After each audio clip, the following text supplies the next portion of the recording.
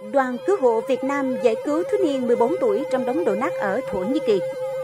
Sáng 12 tháng 2, Cục Cảnh sát Phòng cháy chữa cháy và Cứu nạn Cứu hộ C07 Bộ Công an cho biết, trong ngày đầu tìm kiếm cứu nạn ở Thổ Nhĩ Kỳ, đoàn công tác đã phối hợp với các lực lượng quốc tế giải cứu nạn nhân 14 tuổi từ đống đổ nát. Theo đó, đội cứu hộ Việt Nam được ban tổ chức phân công tìm kiếm cứu nạn người dân trong khu vực sập đổ. Thời điểm này có 10 người bị vùi lấp. Với việc sử dụng thiết bị chuyên dụng của Việt Nam và sự hỗ trợ phương tiện cơ giới của nước bạn như máy xúc, máy đào, đồng thời sử dụng camera dò tìm, phát hiện bằng hình ảnh âm thanh và đã phát hiện dấu hiệu của sự sống với hai âm thanh khác nhau trong khu vực sập đổ. Khoảng 22 giờ 10 phút ngày 11 tháng 2, đội cứu nạn cứu hộ Pakistan tiến hành vào theo hướng hông tòa nhà và đã tiếp cận được và đưa ra khỏi đống đổ nát một nạn nhân 14 tuổi. Hiện công tác cứu nạn cứu hộ đang tiếp tục được triển khai nhằm tìm kiếm các nạn nhân còn lại.